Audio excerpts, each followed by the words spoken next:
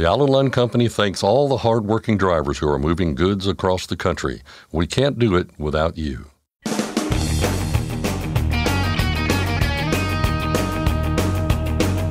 OOIDA, representing America's truckers since 1973, presents Landline Now with your host, Mark Reddig.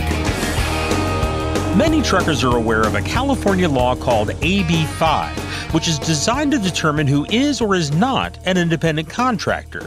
And for some time, we've told you about a lawsuit by the California Trucking Association and OOIDA. But there is another case challenging that law. I'll get the details from OOIDA's Advocacy Counsel, Paul Torlina. Some truckers are expressing confusion and concerns about standard drug testing required in the industry. I'll find out what's happening and get a primer on what's required from Felisa McCannon and Joe Boswell of CMCI, OOIDA's drug testing consortium. And finally, a new bill in Wisconsin would tackle so called nuclear verdicts in the trucking industry. Scott Thompson covers that, plus bills in two states dealing with speed limiters and underride guards, with our state legislative expert, Keith Goble. But first, the news with Scott Thompson. Thanks, Mark. The seesawing of diesel prices continues. According to the Energy Information Administration, diesel averaged in at 386 a gallon last week, up nearly 3 cents compared to the previous one. The national average has been hovering around the same level for weeks now, up a few cents one week and down a few the next. This past week, prices rose in six regions, dropped in three, and remained the same in one. The Rocky Mountain region had the biggest decline of 5.1 cents, while the lower Atlantic had the biggest increase of more than 9.5 cents. Things look similar according to the ProMiles.com numbers this week, where the average Tuesday morning settled in at 3.83 a gallon, down 1 cent from the same day last week. Now for a look at the latest spot market numbers courtesy of DAT. Overall, the market is still pretty soft. DAT says load to truck ratios were down for van and reefer last week, while flatbed stayed relatively flat as well. Rates were also a mixed bag.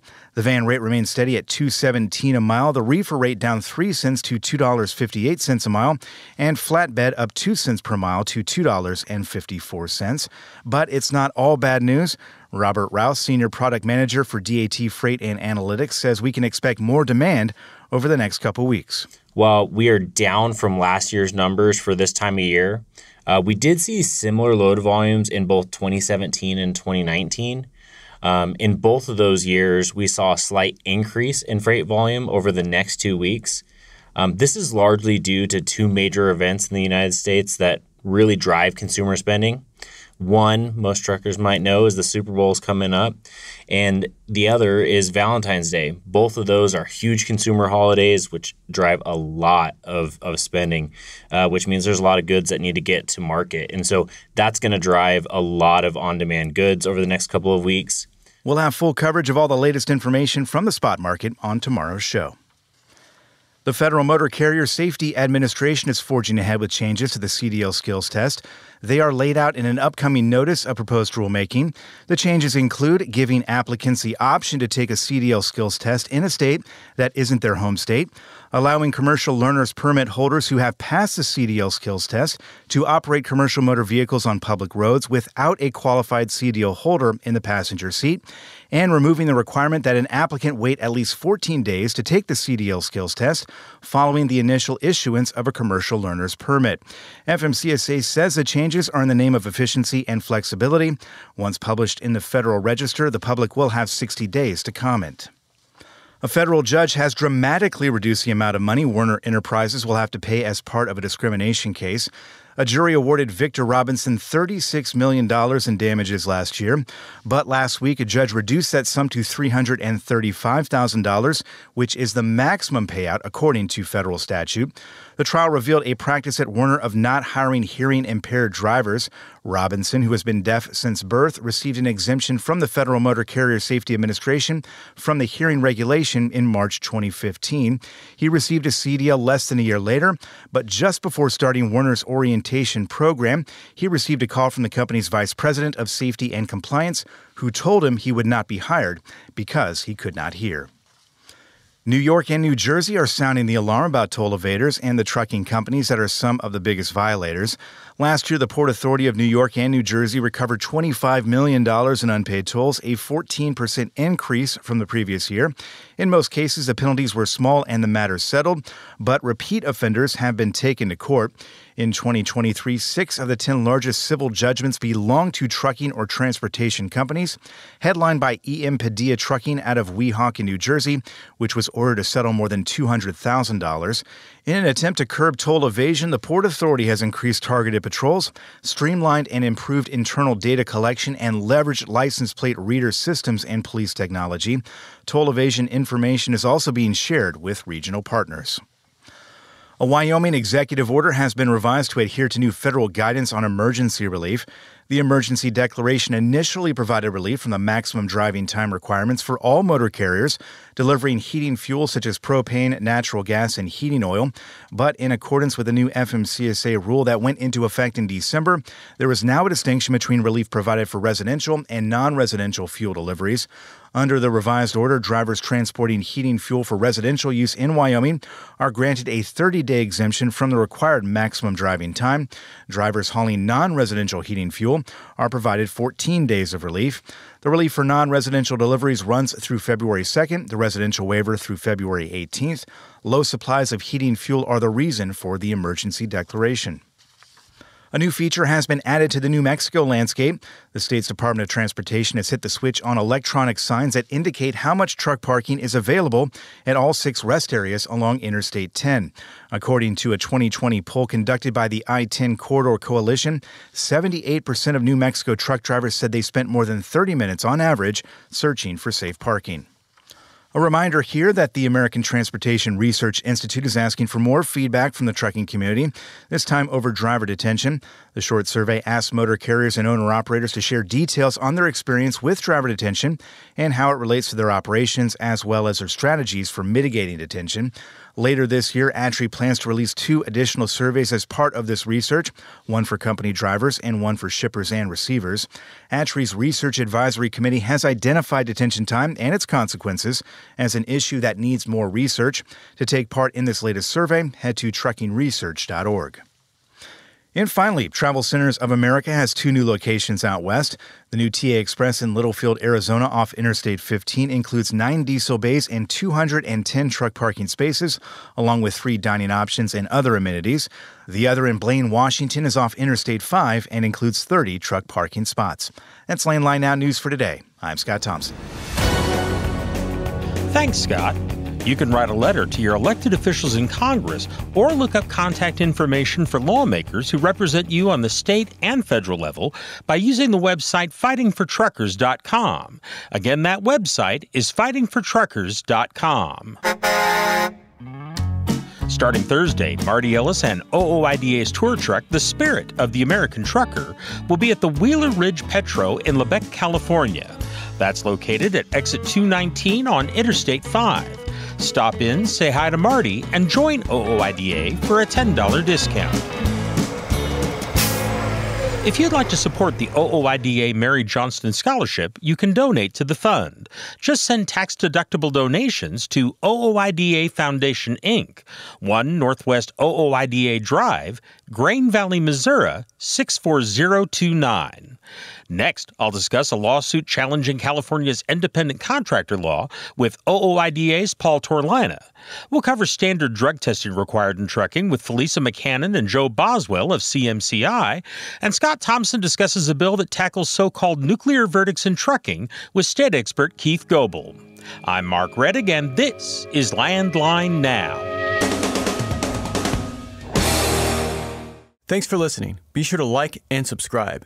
If you want more content, go to landline.media to get updated news, information, and archived editions of our show. Once again, that's landline.media. Are you tired of the IRS following you around like a dark cloud? Call 888 557 4020 and get your life back. Control your toll costs and eliminate tolling headaches with Prepass Tolls. Prepass Tolls means toll volume discounts. Just one invoice for all tolls and fewer violations. Call 877 878 5970 or go to prepass.com. Ready to make more money? Use a better load board. For a limited time, get 50% off Truckstop Loadboard Pro. Just go to truckstop.com slash go and enter promo code READY2023 when you purchase Loadboard Pro. It's tested and proven. Burn 2.1% less fuel when you balance all wheel ends with Centramatic. Call 800 523 8473 to get the OOIDA discount. Landline now. Welcome back. A court case in California could have applications in the trucking industry, and OOIDA has stepped up to make that case. Here to discuss what's going on and why it matters is OOIDA Advocacy Counsel Paul Torlina. Paul, thanks for joining us. Great to be here. My pleasure. Um, this involves a case called Olson v. California. Um, can we start by kind of outlining roughly what that case is about? Sure. The Olson case, is, as it's commonly referred to, is a case brought in the state of California tra- challenging the AB5 bill that was passed several years ago. And the crux of that bill is it was a way to codify case law in California that established what's called the ABC test. And the ABC test is a simple analysis that's done by courts to declare someone an employee when they're trying to figure out if they're an employee or an independent contractor.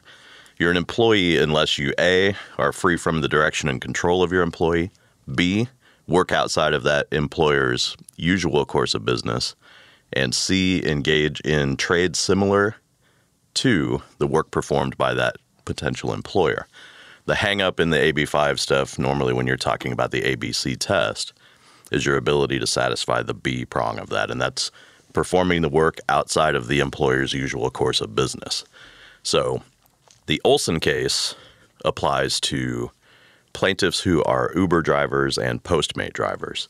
And their essential claim is that as people who are driving to deliver goods or driving people around, they're doing exactly the same business as what the entire app based entity is out there for. They're doing exactly the work that's performed or offered by the service that the app stands for, I guess is the best way to say it. Um, and the reason that's a problem is it means they will always be considered employees because they can't fall under any of the exemptions that AB5 offers to other industries and other types of uh, workers in the industry. And I, I, think that's a key part of this case is the exceptions that have been offered, which I guess were were added after the fact of AB five being passed into law. Can you give us just a couple of examples of the exceptions that have been offered by California? Sure. There's two big ones, um, and they will come into our discussion later on here about OOIDA's case in California. But one of them is for intrastate truckers. If you do not cross the state lines you get treated differently than an interstate trucker. So the intrastate truckers got an exemption from the law to be considered employees. And then trucking in the construction industry has also gotten an exemption. So that would be an example of people who are hauling materials to job sites or hauling uh, prefabricated components of a building or some other type of construction project. Now, that kind of feeds into one of the key concepts in this case, which is the Equal Protection Clause of the Constitution. And the Olson case contends that AB 5 violates that Equal Protection Clause. Uh, just for uh, folks that aren't familiar, can you kind of explain in layman's terms what the Equal Protection Clause is? Sure. The Equal Protection Clause, at its very basic level, is a clause in the U.S. Constitution that protects citizens of one state from being treated differently under the laws of citizens of another state. So, an, an, example here, just to stick with California, if there's a law that applies to California citizens in an inequitable or a different way than it applies to citizens outside of the state of California who come into the state, then that law is subject to challenge under the Equal Protection Clause and essentially says you got to treat everybody the same. You can't treat someone differently just because of their citizenship in a state or because they belong to a different group that the law applies to differently. And that's where we get this thing with the intrastate and the interstate truckers is that's what they say is violating that clause, right? Exactly. And the Olson case is doing exactly the same thing because what they're saying is that there are other what's known as like the gig industry in California um, people performing single jobs and moving on to other other work for other entities.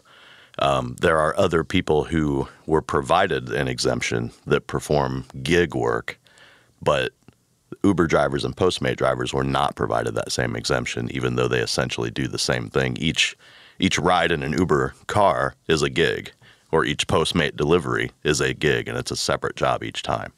Okay. Now, this is now a case that's at the appeals level. Um, what courts or panels have ruled so far, and, and what were their rulings? So, initially, the California District Court had a ruling on this case that they dismissed the case, um, and then it went up to the Ninth Circuit on appeal. And the Ninth Circuit said, no, the Uber drivers and the Postmate drivers are actually making a claim here under the statute, uh, AB5 statute, and, and their claim is valid and it needs to go back to the trial court and be heard. And so, what happened historically in this case is the Ninth Circuit made that ruling with a three panel, three judge panel back in March of 2023. And for whatever reason, the Ninth Circuit recently has decided this case should be re reviewed on appeal by the entire set of Ninth Circuit judges, which is that's a rare thing that happens um, as an experienced litigator, when you win a case on appeal and then they tell you they want to rehear it in front of the full panel, you're not optimistic as the attorney who won the case because your feeling was, well, we won the case already. Why do they need to rehear it and why do we need to have more judges involved?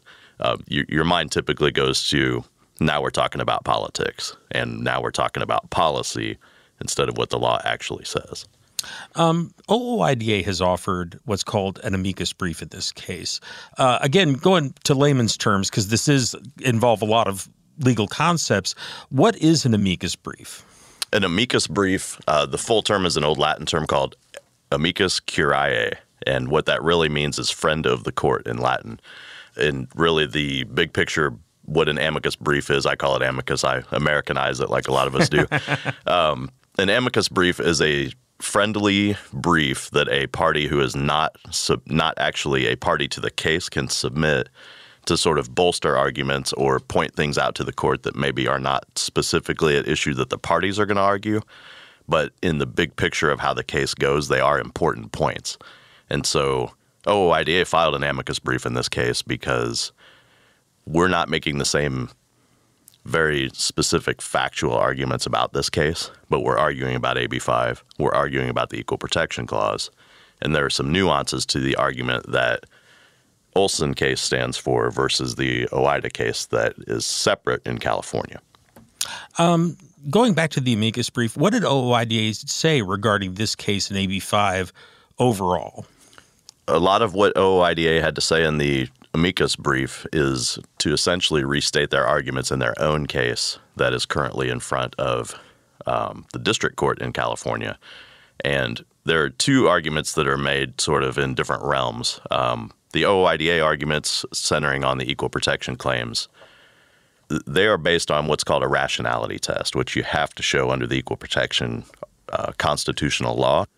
If you're going to make arguments that an equal protection um, issue exists and a law should be stricken down, you have to show that a law is either irrational in the way that it was either put together or is applied, or you have to show that it's in inequitably applied to different groups, even though it's the same law.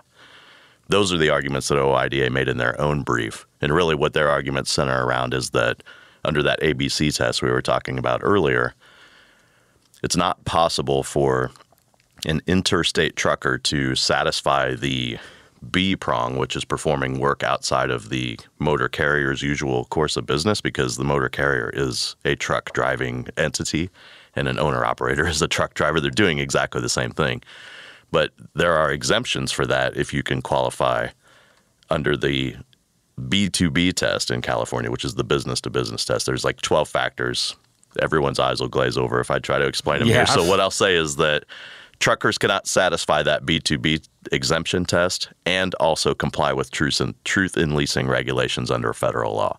So what happens is as an interstate trucker who has to comply with truth in leasing regulations, you can never get a B2B exemption in California. And that means that the ABC test will deem you an employee every single time. So the arguments OOIDA made is that with the conflict created there, that's an equal protection violation because the choice essentially becomes anybody who's not a California truck driver, stay the heck out of California. Well, that's that's the crux of being treated unequally under an equal protection claim. California's treating interstate truckers different than intrastate truckers.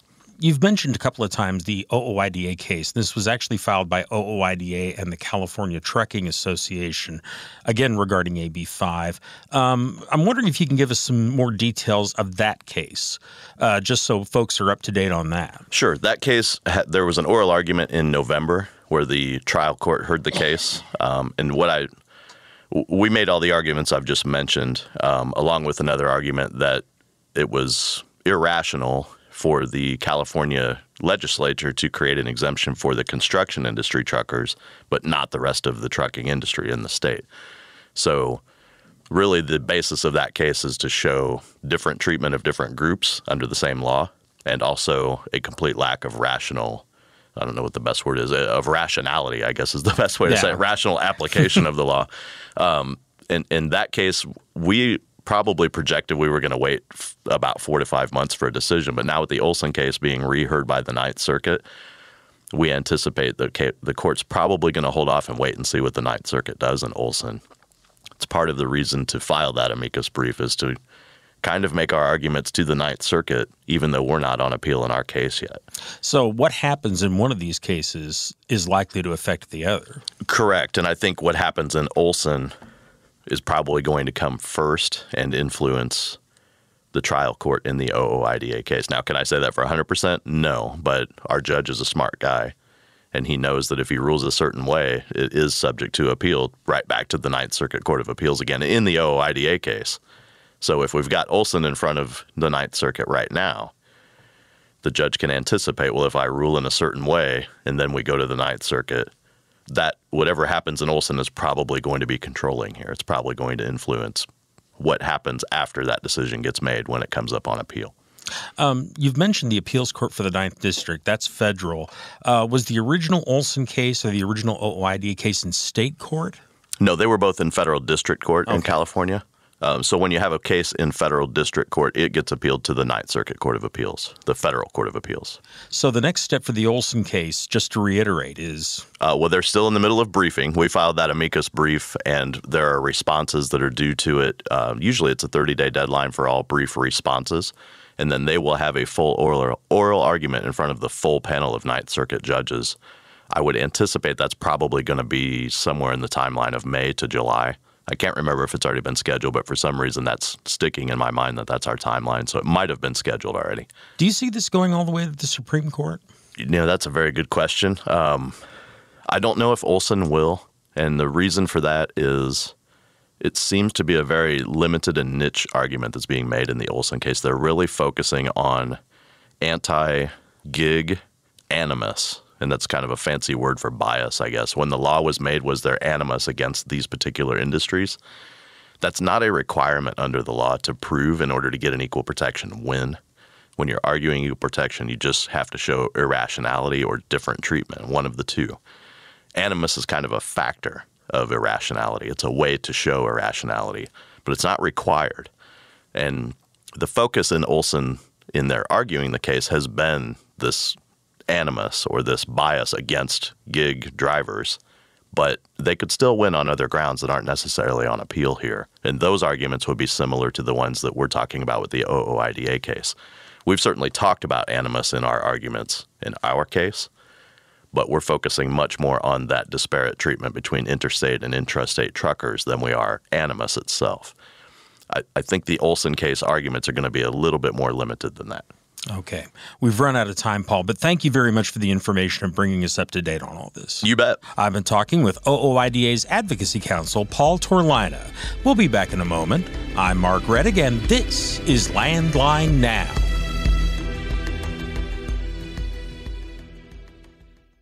Attention professional drivers. Are you behind on your tax filings? You owe money? Integrity Tax Relief Group frees drivers from IRS trouble. You watch the road, we'll keep an eye on the IRS. Call now 855 976 4291. Dispatch, I picked up that load of steel, so I'm ready to roll. Sounds good. Remember, we're getting paid by weight, so make sure to use a cat scale. I wouldn't weigh anywhere else. Forget accuracy when truck on a cat scale. Landline now. Welcome back. Some truckers are expressing confusion and concerns about standard drug testing required in the trucking industry. Here to clear up what's happening and why are Felisa McCannon and Joe Boswell of CMCI, OOIDA's Drug Testing Consortium. Felisa, Joe, thank you for joining me. Thank, thank you. you. Glad to be here. Well, glad to have you. Let's start out with the basics here. This involves random testing. Um, and when we're talking about the requirements uh, that FMCSA has, what do we mean by random testing? Well, every if a driver is out there on the road and in a commercial motor vehicle that's over 26,000 pounds, um, it's required uh, that they be in a random testing program so they don't know when they might get that surprise and have to prove that they are drug free uh, or alcohol free. So it just helps keep the roads safe. Okay, and for a driver, walk us through here. Uh, how does the process go? How do they experience this? So, with CMCI, our random selection happens two times a year. And with that, we have a membership base of about 17,000. And DOT FMCSA requires all consortiums to test at least 50% of their membership base. And therefore, that's about 8,500 tests that we have to conduct a year in order to stay compliant with FMCA's FMCSA's requirements. It's 10% for alcohol. So we run our random selection again the two times a year. So we're pulling um, half of our members up and selecting them for um, random testing. And when that happens, um, we contact those drivers and let them know that they've been selected for the random uh, t- drug and alcohol testing. And we work to find the best location, the best timing for them, and um, truck parking for them if they're out on the road.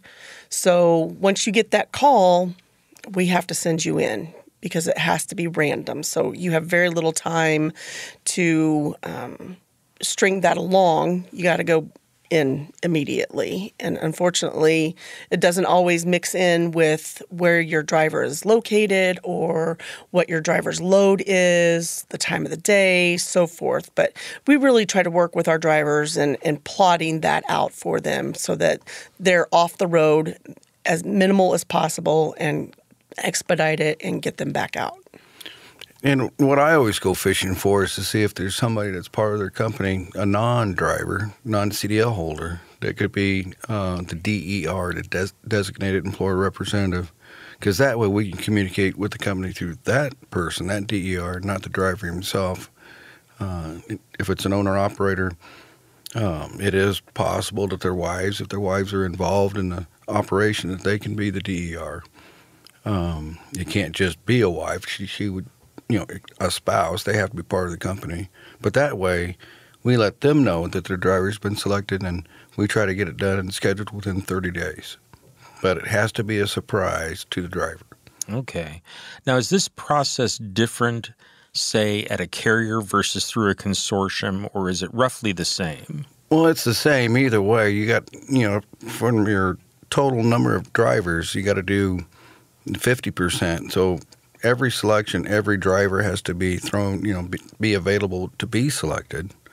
The company still has to meet that 50%. So some drivers might go more than once. Some drivers, you know, might get skipped. It just depends. It's random. But whether they're running their own consortium because they're or running their own random testing program in house depends on the size of them. But an owner operator, one truck operator, has to be part of a consortium. Okay. Now, as I understand it, there's been some resistance lately from truckers who are being called in for these random tests. Um, I'm wondering if you can give us, you know, and obviously we can't name names here, but some example of what form that's taking. I mean, are people confused about the requirement? Are they uh, just upset at being called in? What's going on? So it's a mix of everything. Um, people are confused about the requirements and the regulations that a truck driver has to follow to be a part of a consortium and to to be in that random selection. Um, there's very specific regulations that are written, and we all have to abide by all of those. Um, you know, we call a, a driver up and let them know that they've been selected. Um, it's really out of our hands. We're the messenger. A lot of drivers um, uh, need to understand that they've hired CMCI or any other cons- consortium that they're are available to keep them compliant throughout this process. So we're just the messenger, making sure that we're keeping our drivers, our members in compliance. Um, there's no specific um, selection. I mean, it's all random. So I don't have control over who gets called or who doesn't get called to that random selection. Well, I would suspect some people, if they get called up randomly uh, several times in a row, that they think there's something going on there. But if you're pulling 50%, that's probably not that unusual of an instance. It's not unusual, and it is very frustrating because, again, we're taking a driver off of the road and it can be you know a 30 minute appointment um, depending on the location that you're in or it could be you know a couple of hours for a collection site to actually get you in the door get you called up go through the the process of require uh, providing our specimen and then getting you back out the door. So there is a lot of frustration and we understand that. And I guess that's why we work so hard as a team to make sure that our drivers um, are finding a great location a close location, um, a location that we work with specifically, so that all the backside of all that work is taken care of. The driver never has to do anything from there other than take the test, get the results that's how we want to see it. But it doesn't always happen like that. If someone doesn't show up for a random test when they get that call, what's going to happen? Well, they could it would be considered a refusal. So once you get selected and you're going, you you need to go. Um, and there's you know that's why you know if you're dealing with the DER, the DER can pick a time you know when it doesn't interfere so much with their business, doesn't interfere with the load and with our owner ops who are that don't have a DER, and so we have to call them directly and let them know. You know, this is Joe from CMCI. You've been selected for a random. Where are you? And as a, a customer service representative, I, I want to provide good customer service. It's already an inconvenience. We understand that.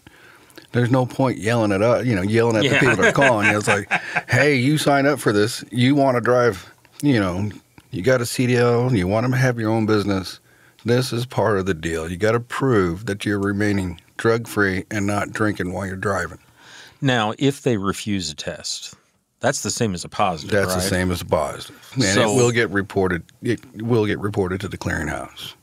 And what happens at that point with that driver? Well, he's got to be taken off the road. He's not eligible to drive. So at that point, it's the same as a positive. So he would have to go through the return to duty process. So have to go see a, a substance abuse professional, start that return to duty process. At some point, you know, they take a return to duty test, but it, it's it's not worth it. Just people need to go in and take the test. Test when they're called randomly.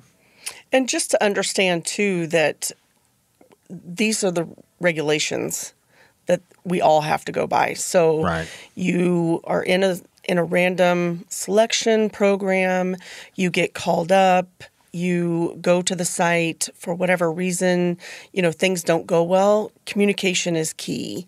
You know, we can work with that within some guidelines. Um, but yeah, it's unfortunate that if you refuse a test, it's actually considered a positive, and those go directly to the clearinghouse. Well, and if you're an owner operator and you're under load, you've got a major problem at that point. You do. You yeah. do, and, and, our approach to that is we're going to do our best. You know, it's an inconvenience, but we're going to work with them. It's like, where are you? Which way are you going? I start looking for a, a collection site that's in route, that's tractor trailer friendly. We bend over backwards to try to find a place for them, but they just need to communicate and cooperate. So you mentioned the clearinghouse a moment ago. That these are reported to the clearinghouse, and that's another point of confusion people are having. What is the clearinghouse? The clearinghouse is really FMCSA's database to track and monitor those drivers that have been considered positive in their random testing, or it's even, um, you know, they're testing for a reasonable suspicion. So this is just a database that FMCSA has that monitors those drivers. And FMCSA's clearinghouse is something that um, you are you need to be in it um, to provide that information. But if you're a lease driver or another company driver that is going to another company for whatever reason, getting another job through driving, the law enforcement, DOT, auditors, and companies run queries on drivers that are in the clearinghouse, and they have to come up clean in order to be hired by the next company. If a company chooses to hire a driver that has come up dirty on a test, then that company needs to know that now they're taking over the requirements of the SAP program, the SAP program. And they have to take on, you know, that follow up procedure. They have to take on the financial uh, burdens that brings to not only the driver, but the company. And then there's insurance implications as well. Insurance companies want to make sure that drivers um, that companies are hiring drivers that are in good standing because you want to keep your insurance rates as low as possible, obviously. You brought up another term in there that I think is important just to define out real quick, and that's reasonable suspicion. And I know that that plays into another place where you're going to be facing a test. What do we mean by reasonable suspicion? Well, if you if you witness directly one of your drivers, you know, smells like alcohol, or has glassy eyes, if it's something that you witness yourself, um, and you have reasonable suspicion that they're using drugs or drinking on the job, then you can send that driver in for a reasonable suspicion test. And again, this is not an option at that point. You've got to go in. You got to go in. Once you're Correct. called to go in, you got to go. And and generally, uh, when this happens, the driver's probably doing something and they refuse to take the test. Well, the same as positive. So if you if yeah, we don't we don't do a lot of reasonable suspicion tests. Yeah. Well, and of course, with an owner operator, that's an entire thing. Again, I mean, uh, you're the boss, you're the driver, you're the whole nine yards. Right, right. So yeah, if you're an owner operator, you're not going to turn yourself in. So that that doesn't happen. We've got about a minute or so left here, real quick. And uh, one other thing that you did mention in there, Felisa, was pre-employment test. You know, and uh, talk us to us a little bit about that and that process. So, a company hires you as a driver. One of the requirements that the company has to follow is, is that they have to conduct a pre employment test. And that is just the same as a random. However, um, they have to have those test results before they can put you on the road. So we do pre employment tests, we do the DOT five panel test, just like all the other tests that we run. Um, but that's kind of your pass to move forward with the hiring process of any new company. I think we're out of time here, but I want to thank you both for all the useful information. Hopefully, we helped someone out. Absolutely. Thank you. Thank Glad you. to be here. Okay, I've been talking with Felisa McCannon and Joe Boswell of CMCI. That is OOIDA's Drug Testing Consortium. If you have questions about drug and alcohol testing in the trucking industry, you can call CMCI at 816 229 5791. We'll be back in just a moment with more of the program. I'm Mark Reddig, and this is Landline Now. Stock up on Howes Diesel Treat, the nation's most trusted anti-gel. And to be safe from the harshest winter conditions, make sure you have Howes Diesel Lifeline on hand, the fastest acting gelling rescue product. Available nationwide, Howes products are designed to keep you rolling through the toughest conditions. Visit howesproducts.com. Since you started, what you've loved about trucking is the freedom. Heading out on your favorite route, a good driving song, and thinking about truck insurance. Well, maybe not that last one. That's why we're here.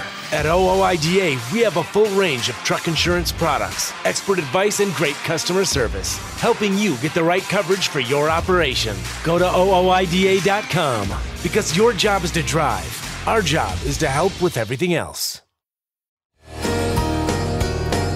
Welcome back to Landline Now. If you were to make a list of things that make a truck driver's blood boil, nuclear verdicts and mandates for side underrides and speed limiters would no doubt make an appearance.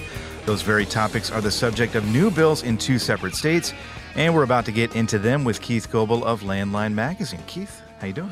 Scott, uh, should we make a, like a top ten of issues that Like a- make truckers Like a wanna boil? Letterman, we could do a Letterman, a Letterman list. Oh man, I remember those. Yeah. All right. We'll work on it. We'll get we'll get the the brain trust together and we'll we'll figure it out. Someday. Someday. Someday. Maybe not today. Maybe tomorrow. uh, what we are going to do today is talk about Wisconsin, uh, where there has been some talk about nuclear verdicts in the legislature there, and the talk. Uh, I think, thankfully, I think a lot of us would say, centers on reining those nuclear verdicts in. What's uh, what's behind this? Yeah, well, you've got uh, folks uh, talking to Wisconsin lawmakers that um, are communicating that this is uh, this is not good. This is a situation that you know is getting out of hand. At least, uh, you know, they had a recent hearing uh, with the uh, Senate, excuse me, the Assembly Transportation Committee. Um, that yeah, that was what was communicated to lawmakers and what the legislation uh, that it is worth pointing out that there is an uh, Wisconsin Assembly version of this legislation, and there's also a version in the Senate. So you've got them in both chambers, uh, so the discussion can kind of get underway. It's without- usually a good sign. yeah, yeah, Yeah. you know, I mean, and I, I will say that there are states, and Wisconsin is one of them, where it is very common to have bills start in each chamber. Okay. Uh, you know, there's a lot, a lot of states that's not common, but it, it is fairly common in Wisconsin. But hopefully that will expedite the process, especially, um, you know, whenever you've got folks, anytime that you have a state trucking association who is also in support or in opposition, whatever the case, whatever the issue might be, uh, it, it um, uh, can be you know, a, a good sign for, for a bill uh, whenever you've got a state trucking association um, that is a- advocating for it. In this particular case, you know, in Wisconsin, the trucking association is advocating for this this legislation that would put in some uh, limitations on non-economic damages. Um, this legislation would have no effect on economic damages. Non-economic damages, of course, you know, stuff stuff like uh, pain and suffering, but wanting to put a cap on um, on on rewards, you know, of of, of lawsuits. Um, this particular case, this Wisconsin bill would put a one million dollar cap. Again, these are non-economic damages. Um, they would be damages that could result um, you know, in injury, death, or, or, or other type of loss in an incident involving a truck. Uh, but yeah, that was uh, was communicated to to the panel. They held their initial hearing on on this legislation in the assembly. Did not vote on it, uh, but uh, had a discussion on it. So uh, hopefully, uh, get the ball rolling on uh, on this legislation. This is one of these topics that I think lawmakers especially need help with understanding because this is one of these things where on paper somebody suffers a horrible tragedy um, you know you feel that they are entitled to some sort of settlement to make things right so to speak. When in reality if you look at these situations um, you know as we know these nuclear verdicts just get way out of hand. I mean uh, that's why they're called nuclear verdicts. So it is, uh, I guess, heartening in a way to to hear that the Wisconsin Motor Carriers Association is educating lawmakers on just what the situation is and you know how it plays out in a lot of cases. Um, and we'll see if the lawmakers take this into account. Uh, but it does sound like they are at least listening to the concerns. And again, these are bills in, in both houses, as you mentioned here. So Mhm. we're likely to see, it sounds like something here, but as you mentioned, hasn't moved anywhere yet. Yeah, you know, uh, Wisconsin, uh, they're in session, you know, for the most part all year long. So they don't they don't have the same time crunch that you see in a lot of states. Uh, so part of that process is, you know, they come in and have an initial discussion on legislation. Um, worth mentioning, I, as I as I said, there's an Assembly version and a Senate version. They're identical. Uh, so as part of this Assembly Transportation Committee meeting, uh, you had bill sponsors, both bill sponsors, in and discussing it and and uh, providing uh, details um, as far as um, how the problem is worsening. Um, Yet, uh, of course, uh, I, I think one, one of the one of the comments that was made by by a bill sponsor was that you know they've they've got jury awards that not that it's common, but it's exceedingly growing in frequency. Uh, you can have you know up to neighborhood of ten million dollars um, being awarded, and you know one of the things that was communicated by those advocating for these protections, putting a cap of a one million dollars on a non-economic damages, is um, they're not saying that, uh, that these lawsuits, you know, that, that, they're invalid. I mean, but the amount um, that you know is becoming more customary, and what uh, some of these um, you know law firms are, are, are, choosing to focus heavily on non-economic damages. It's mm-hmm. not there's the, the limitations aren't aren't as aren't as much for them. They can have higher rewards going that route. So uh, and being communicated again to the to the committee that it is really starting to um, um, affect uh, the trucking industry. Uh, and obviously, their focus there is Wisconsin, talking about how you know it, it affects even uh, supply chain issues. Whenever you start getting into this and this frequency and of these types of verdicts being handed out, and then they need to rein it in. They need yeah. to be, yeah, they need to make, make make some common sense changes there. We'll keep an eye on that. Let's move to California here. Uh, we spoke about this briefly on the show last week, but there is a state lawmaker there in the Golden State who wants two things, actually wants a number of things, but two that we'll focus on speed limiters for all vehicles and side underrides on all tractor trailers. Uh, where to start, Keith, here? A lot to unpack, but uh, this one has raised some alarms and some eyebrows, I guess, across the nation. Yeah, you know, um, you've got California, obviously, um, notable. Uh, we talk about them from time to time. A little bit, a little bit. yeah, they, they, they they do some stuff. Not not not that we always agree with it. Uh, well, very rarely do we agree with it. Mm-hmm. I guess I should say, but yep. but yeah, it definitely is something that whenever you've got California, and you know, there's also very very similar um, idea uh, going in New York State House. Uh, the California legislation for the side red guards. This would apply to all uh, truck, trailer, semi trailer that's uh, in excess of 10,000 pounds. This would apply to all of those vehicles. In New York, uh, they're limiting it to uh, those that those, those trucks that are in New York City. Uh, they're along certain certain routes. Um, so yeah, the California bill much more all encompassing. Uh, but whenever you've got two states like California and New York really kind of taking the lead on this sort of topic, it is concerning uh, because you, are going to you could potentially see regionally you know uh, how it goes in California, um, Washington State, Oregon. Would they be looking at that? Um, that's that's totally uh, possible. In New York, you've got most of the East Coast, where you know regionally lawmakers will look at issues in one state and they will they will start you know taking into consideration whether they should be doing the same thing. But yeah, California legislation that would require it if you are traveling. It doesn't say that you have to be. Uh, well, excuse me. Yeah, if you are a truck that's manufactured sold or registered in California, that this would be a requirement. You'd have to have these side guards, uh, these lateral side guards. Yeah, this is the the slippery slope because we've seen, of course, the federal legis or federal proposal, uh, at, at, least uh, with regard to speed limiters, and of course, the side underride issue is there as well. Uh, as you point out, it's kind of this idea of the slippery slope. Uh, it may just take one of these dominoes to fall for the rest of them to fall.